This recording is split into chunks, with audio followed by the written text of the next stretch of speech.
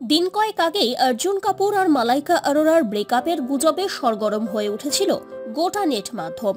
বলিউডের এই তারকা জুটির সম্পর্ক ভাঙার খবর অনেক ভক্তের মনই ভেঙে দিয়েছিল। সকলের মনে একটাই প্রশ্ন ছিল, এমন কি হলো যে সম্পর্ক ভাঙার পথে হাঁটছেন অর্জুন মালাইকা? এও নাকি শোনা গিয়েছিল যে অর্জুনের সঙ্গে ব্রেকআপের কারণে মালাইকা নিজেকে ঘরবন্দি করে ফেলেছেন। আর এই গুজব যখন একেবারে শিখরে, সেদিন সন্ধ্যাতেই অর্জুন কাপুর তার আর মালাইকার ছবি পোস্ট করে তাদের ব্রেকআপের গুজবে দাঁড়ি টানলেন। আর এই রোববার মালাইকা আর অর্জুনকে লাঞ্চ ডেটে যেতে দেখা গেল। সব গুজব জল্পনার অবসান একেবারেই হয়ে গেল এ থেকে। এদিন মালাইকাকে দেখা গিয়েছে সিসলিং সাদা ছোট পোশাকে। কিছুদিন আগেই বি টাউনে মালাইকা অর্জুন কাপুরের সম্পর্ক ভাঙা নিয়ে জোরদার গুঞ্জন শুরু হয়েছিল। চার বছরের সম্পর্কে নাকি ছেদ পড়ছে।